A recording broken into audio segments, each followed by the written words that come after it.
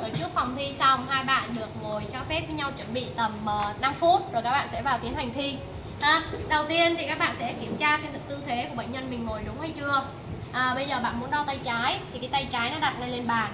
Bây giờ muốn đo tay phải à, thì bạn xoay người bệnh nhân lại chứ không có cố gắng để cái tay phải lên trên bàn rồi đo ha rồi bạn để tay xuống và để tay trái lên bàn chân để trên sàn nhà và ngồi rất là thoải mái. Sau đó các bạn tiến hành hỏi bệnh của bạn mình giống như các bước cô đã hướng dẫn. À, sau khi hỏi bệnh xong thì các bạn tiến hành là bộc lộ động mạch cánh tay của bệnh nhân lên. À, săn gọn gàng lên. Rồi sau đó các bạn sẽ bắt động mạch cánh tay. À, động mạch cánh tay thì các bạn giơ lên cao này. Và bắt rồi sau khi bắt được động mạch cánh tay xong rồi ha thì các bạn gọi thầy cô đến và kiểm tra xem thử động mạch cánh tay đã đúng hay chưa. Rồi nếu mà bước này không tiến hành được thì sẽ không được tiến hành thi tiếp cho nên bắt buộc là phải bắt được. Đối với những bạn nào mà mạch yếu thầy cô bắt cũng thấy khó khăn á, thì các bạn đừng du di qua cái bước này. Rồi sẽ xảy ra hiện tượng là ở trong cái lúc chuẩn bị hai bạn ngồi bắt mạch nhau rồi sau đó lấy bút bi vạch lên. À, còn không lấy móng tay cà cà cà cà. Đi vô mà có thấy bất kỳ cái dấu hiệu nào ở đây thì có nghĩa là bạn đã gian lận sẽ bị trừ điểm, ha? Các bạn có thể tập bắt trước thì nhớ vị trí cũng được nhưng mà không được đánh dấu như thế. Rồi, sau khi mà bệnh nhân mình đã chuẩn bị xong, ha? Rồi, các bạn sẽ chuẩn bị dụng cụ, ha. bước chuẩn bị bệnh nhân chiếm một điểm. Bước chuẩn bị dụng cụ chiếm một điểm, bao gồm hai cái bước làm sau. Thứ nhất là các bạn chuẩn bị ống nghe. Rồi, ống nghe cũng mới đặt xuống đây không rồi ống nghe như các bước vừa nãy cô hướng dẫn không? Bạn đeo cho nó đúng. Hướng về phía trước thấy chưa? Rồi sau đó tiến hành kiểm tra xem có đang ở phần màng hay không. To không em? Rồi to tức là đang ở phần màng. Ống nghe sẵn sàng rồi thì tháo tai nghe quàng qua cổ. Rồi cái này để đâu? À để túi áo. Ha ông để lòng thòng lòng thòng như này. Đó, có nhiều bạn đi vô lòng thòng lòng thòng lắm là không được không có gọn gàng ha. Rồi sau đó chúng ta sẽ chuẩn bị dụng cụ. À, bước thứ nhất quan sát xem kim đồng hồ có về vị trí không hay không. Mặc dù máy cho các bạn thi là máy đặt chuẩn hết à, nhưng mà chúng ta nguyên tắc trước khi bước lên cân chúng ta phải xem có đang ở vạch không hay không.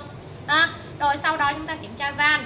Đây là quả bóp cao su và đây là cái van để điều chỉnh áp suất xì ra rồi khóa lại. À, cái van này thì các bạn nên cầm như này này. Cả bàn tay chúng ta bóp hai ngón này điều chỉnh van. À, không có bạn nào cầm như thế này ha cái đến lúc muốn mặt bàn hất lại. Không được. Được chưa? Chúng ta sẽ cầm sao cho nó thuận tiện nhất.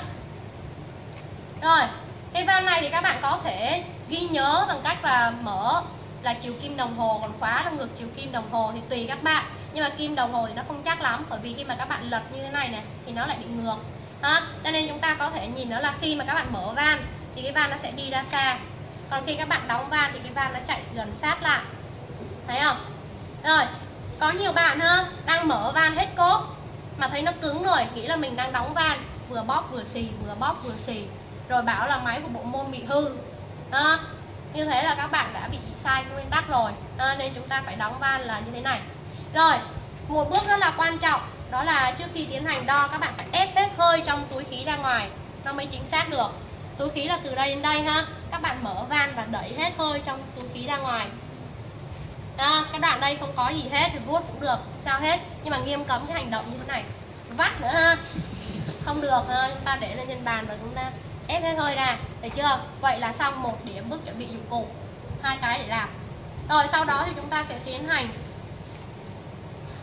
đặt cái vị trí băng quấn lên trên cái vị trí động mạch cánh tay chúng ta vừa bắt. À, động mạch cánh tay vừa bắt chúng ta ở đây. Chúng ta đặt cái dòng mũi tên lên. Sau đó các bạn quấn.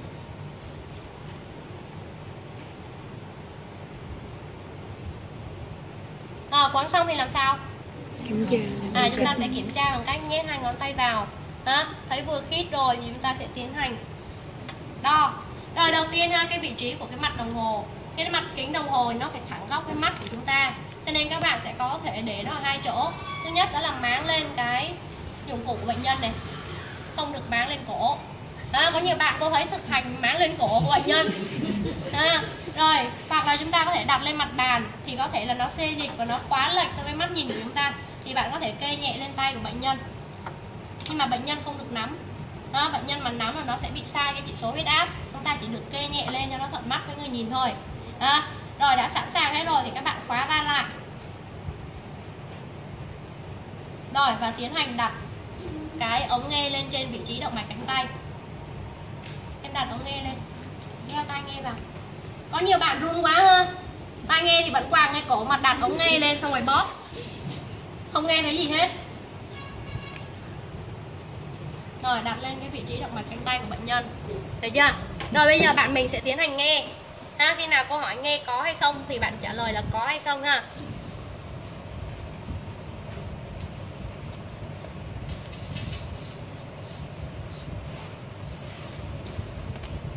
nghe không nghe không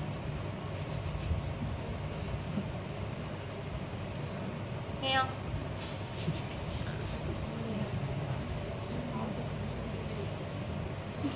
Có hả? Không nghe nữa ha sau khi không nghe nữa thì cô sẽ bơm lên thêm 30 mm thủy ngân và sau đó xả về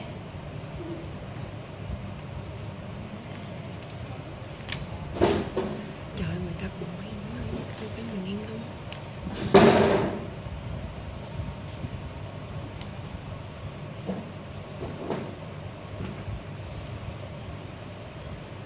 con nghe không?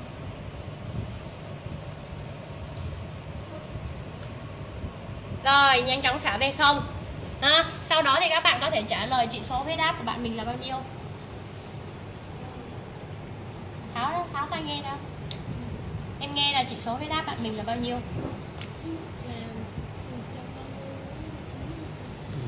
À, rồi sau khi trả lời chỉ số huyết áp thì ờ, cô sẽ nhấn mạnh các bạn một số điểm. Thứ nhất ha, cô bảo cô thấy bạn bảo có và cái thời điểm nó ở 170. Nhưng mà lúc đấy bạn chưa đọc ra được cái chỉ số trên màn hình ở trên cái đồng hồ huyết áp bởi vì các bạn chưa quen. Ha, các bạn ghi nhớ vị trí. Cho nên lúc cô hỏi bạn nhớ lại vị trí đó thì nó bị sai mất rồi. Ha, cho nên nhiệm vụ các bạn nhìn cái kim ở đâu là phải ra được cái con số ở đó. Ha, vừa nãy là 170. Con số ngay đây thì bạn bảo có nghe thấy này. Đó, giữa 160 với 180 là 170 đúng không? Rồi, sau đó thì cái vị trí huyết áp tâm trương thì dễ thì bạn nhớ quan sát nghe lại thôi, bạn mình huyết áp khá là cao. Đang nữa các bạn đo lại bạn mình, bạn này nè, xem thử có đúng như thế hay không. À, rồi cái lưu ý thứ hai đó là cái kim các bạn nãy giờ các bạn quan sát cái kim á thì các bạn sẽ thấy khi mà có tiếng đập thì cái kim nó sẽ làm sao? À cái kim nó sẽ giật nhẹ nhưng mà nó không tương ứng với huyết áp tâm trương và tâm thu. Có nhiều bạn thấy cái kim giật bảo đó là tâm thu, thấy cái kim hết giật bảo đó là tâm trương là sai. Nó sẽ bị lệch rất là nhiều đủ để các bạn rớt. Ha, chỉ là khi nào các bạn nhìn thấy cái kim giật thì bạn chuẩn bị tư thế để nghe bởi vì nó sắp đến cái huyết áp tâm thu rồi. Lúc nào cái kim nó cũng giật sớm hơn hết. Đó, đó là hai cái lưu ý đối với cái việc đo lý thuyết là thế nhưng mà áp dụng lên thực tế thì cô lưu ý các bạn hai điểm như thế đó, chúng ta tập làm sao cho nhìn vào kim biết được nó số mấy và thứ hai là điều chỉnh được tốc độ xả cho phù hợp bây giờ xả nhanh quá thì thôi chúng ta cố gắng là là là xả lại đó, bởi vì tốc độ xả của các bạn cũng chiếm một điểm sau khi mà đo xong rồi ha bạn báo cái chỉ số huyết áp 170 trên 90 mm thủy ngân được 0,5 điểm. Không có chữ mm thủy ngân là mình mất 0,5 điểm. À, rồi sau đó các bạn tháo băng cuốn ra và trả lại dụng cụ gọn gàng được một điểm. Ha trả lại dụng cụ gọn gàng tức là chúng ta gấp lại y chang như cái hiện trạng ban đầu. Tại sao bắt các bạn gấp lại trong khi lát nữa các bạn thi tiếp? Là bởi vì chúng ta là cán bộ y tế thì các bạn phải thao tác gọn gàng đó, và chúng ta xem thử các bạn có gọn gàng hay không bằng thao tác gấp lại. Gấp làm ba này. Đó, sau đó cuốn lại giống như là cuốn giò chả. Đến đây nè nó sẽ dán được với nhau là gấp đúng. Đó bên ngoài các bạn có cái mặt chữ. Rồi sau đó các bạn nhét vào trong cái bao da cái ống nghe để bên cạnh. Không bạn nào nhét ống nghe vào bao da lát nữa đi tìm không đủ nha.